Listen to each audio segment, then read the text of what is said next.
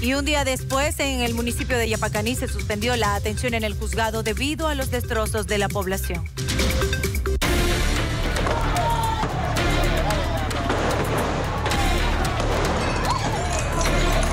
Después de los acontecimientos ocurridos en Yapacaní, donde los pobladores intentaron linchar a un presunto violador que fue enviado a la cárcel de Palmasola, así quedó el edificio. Las ventanas rotas, producto de las piedras que se lanzaron, las puertas de blinder en la parte superior del juzgado también fueron destruidas, lo mismo que las otras ventanas que también han sufrido daños. La puerta de ingreso principal está también destruida. Se le ha puesto un precinto porque se han suspendido las actividades en este día y también se pueden observar las, las piedras, un calzado que es del presunto violador más su gorra.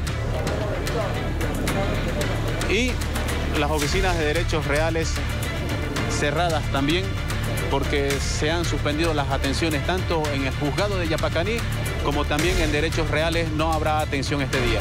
Porque yo vengo desde Santa Cruz y mire, me encuentro con esto, salí a las 4 de la mañana para encontrarme con esto. El día de hoy tenemos una audiencia, una audiencia en un proceso civil donde se han denunciado actos ilícitos y bueno, eso también este, genera un estado de incertidumbre en el proceso, ¿no? Y bueno, ahorita está cerrada las puertas por, por los atropellos que hubo anoche.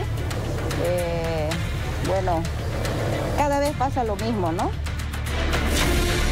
Y este sujeto acusado de violación luego de ser rescatado por parte de la policía de una población enardecida en Yapacaní a las 4 y 30 de la madrugada llegaba de esta manera al penal de Palmasola, este acusado de abuso sexual a un menor de edad en Yapacaní. Ahí estamos viendo precisamente el momento en el que este sujeto que fue golpeado por la población en Yapacaní era ingresado hasta el penal de Palmasola. Recordemos que en la pasada jornada se le dio detención preventiva en dicho penal de Santa Cruz de la Sierra tras ser acusado de ultrajar sexualmente a un menor de 10 años por más de un año.